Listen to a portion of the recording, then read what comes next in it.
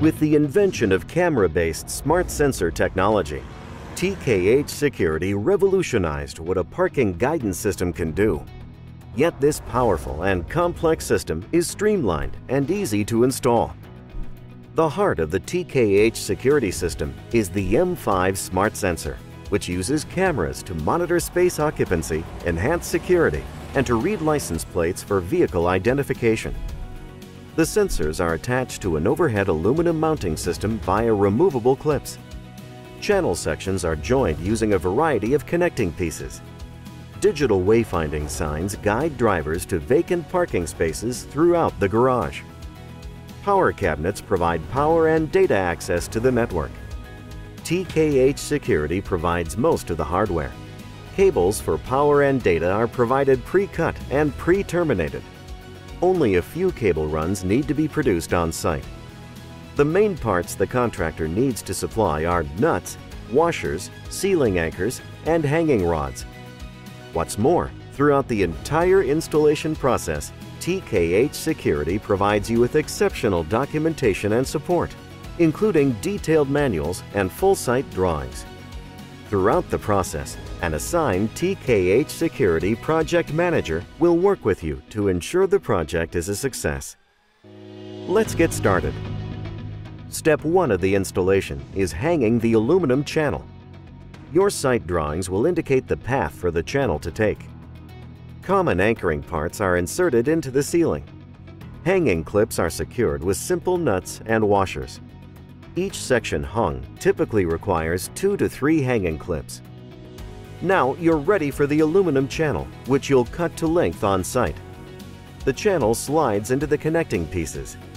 A quick twist of the hanging clip locks it in place. The M5 sensor clips to the channel using the removable clips. Before installing, refer to the drawings for exact sensor location.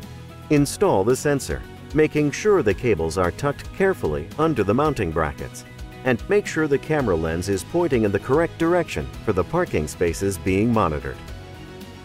Once you've installed a string of M5 sensors, it's time to run the PoE cable in a daisy chain configuration.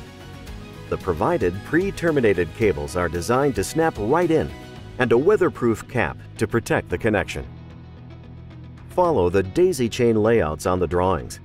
The cables will be neatly concealed within the aluminum channel Finally, install a weatherproof end cap on the last sensor to protect the connection.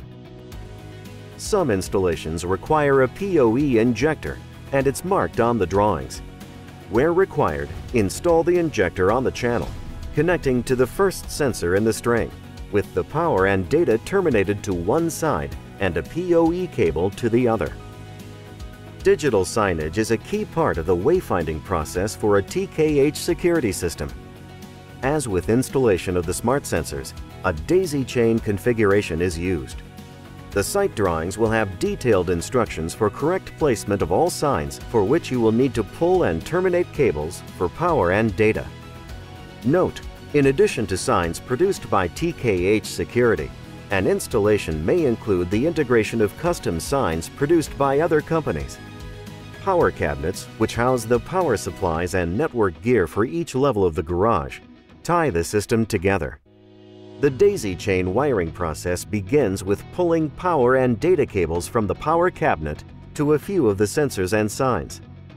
Power wiring for both sensors and signs connects to the appropriate power cabinets. PoE and data cables are terminated, then plugged into the cabinet switch. Once the final AC power and data trunk connections are made, the power cabinet is ready to support its entire designated network of devices. When power is first applied to the system, built-in features help confirm proper installation of the M5. The LED lights on the smart sensors will blink either blue or purple depending on the state of the network. Signs will briefly display a few numbers for testing, then go blank.